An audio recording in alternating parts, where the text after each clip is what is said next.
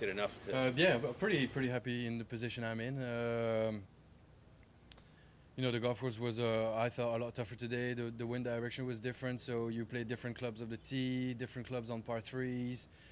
Uh, so it was basically a total different golf course. Uh, you know, it's firming up a little. The greens are are getting a bit faster down the hill. I mean, you really need your rubber gloves, and uh, so yeah. I mean, I'm not surprised to see that nobody really went crazy. I mean, what's the what's the lowest round today? Three under, is it? And it's the only one really. So uh, so yeah. I mean, I thought it was a bit tougher than uh, than yesterday.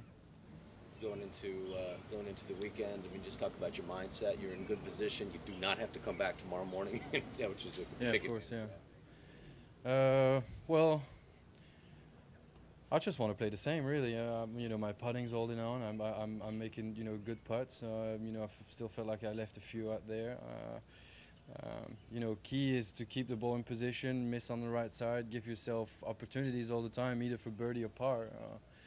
Uh, and I thought I did, uh, I did that pretty well today under the under the conditions. And the conditions tomorrow are apt to be. I mean, it's supposed to stay dry through the weekend. You know, I mean, with this, with this Fingers crossing crossed. fingers, yeah. It's, it's going to toughen. It's going to make this a tougher. I mean, what, what effect do you think that would have on the on, on the on the way this course is playing? Well, yeah, I mean, there's no doubt that you know the better the weather, the, the firmer it's going to play. Uh, fairways, I mean, you don't really think that fairways all of a sudden are going to get really bouncy, but the greens are the the, the main um, the main thing that the the, the, the nice weather is going to change. So. Uh, um, so yeah, I mean, if you read the greens right, if you got the speed all right, um, even if they go faster, um, that's pretty much the only thing that you need to do right, or to change uh, from the first two rounds. Putt on 18. What'd you see there, and what would it have meant to make to make that putt?